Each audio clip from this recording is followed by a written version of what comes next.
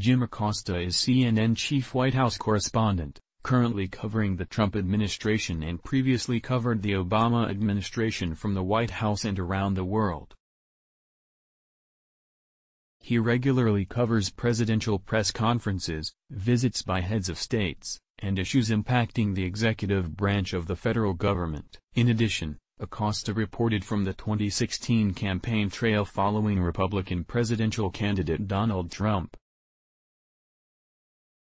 Acosta is based in the network's Washington, D.C., bureau and serves as a substitute anchor for the network across a variety of CNN programs. Previously, Acosta was national political correspondent throughout CNN's America's Choice 2012 election coverage, embedded with the Romney presidential campaign as the lead correspondent.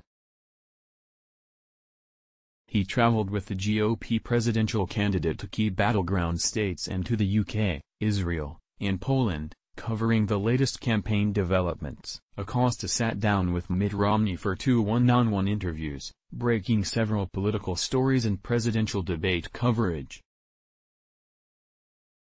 In addition, he covered both of President Barack Obama's inaugurations and contributed to the network's midterm election coverage. Acosta has received several awards including the National Association of Hispanic Journalists 2017 Presidential Award, the SJSU Journalism School 2018 William Randolph Hearst Foundation Award, and was a part of the CNN team that won an Emmy for their 2012 presidential campaign coverage.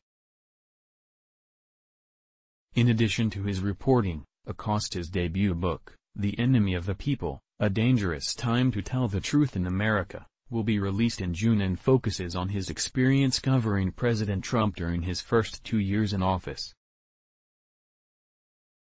In 2009, when the Obama administration lifted some restrictions on American travel to Cuba, Acosta reported from Havana, Cuba, on the effects of the policy change and on the post-Cold War relationship of the United States and Cuba.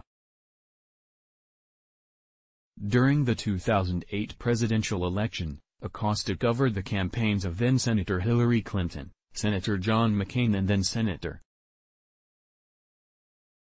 Barack Obama, frequently contributing as co-anchor on CNN's weekend political program, Ballot Bowl. During his time with CNN, Acosta has covered several breaking news stories, including the tragedy at Virginia Tech and the Gulf Coast during the oil spill crisis.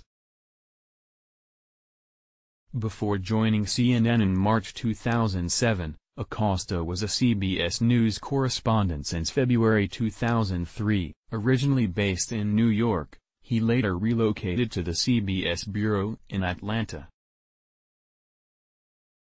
He contributed primarily to the CBS Evening News and has covered stories including the Iraq War from Baghdad, the 2004 presidential campaign of then-Sen. John Kerry, Hurricane Katrina, and the blackout of 2003 that impacted major cities in the Northeast U.S. Previously, he was a correspondent for CBS NewsPath the network's 24-hour news service, from 2001 to 2003 and was based in Dallas and Chicago during that time.